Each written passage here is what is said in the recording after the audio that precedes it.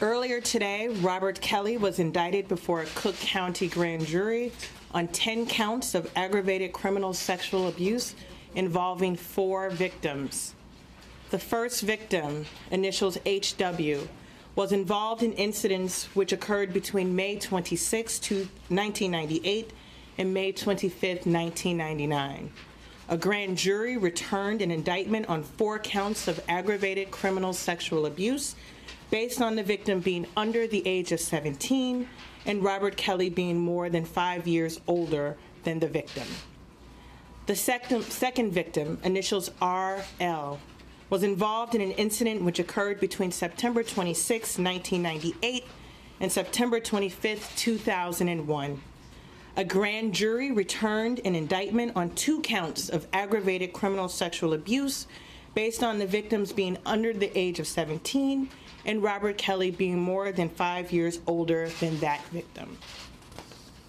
The third victim, initials LC, was involved in an incident which occurred February 18, 2003.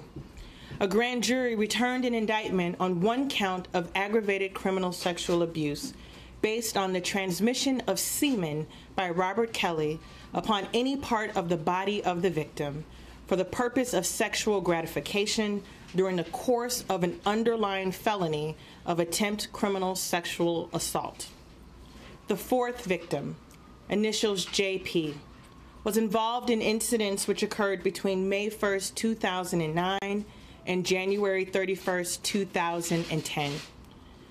A grand jury returned an indictment on the three counts, three counts of aggravated criminal sexual abuse based on the victim being under the age of 17 and Robert Kelly being more than five years older than the victim. Aggravated criminal sexual abuse is a class two felony with a sentencing range of three to seven years for count.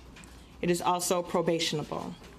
We anticipate that Mr. Kelly will appear in bond court tomorrow afternoon.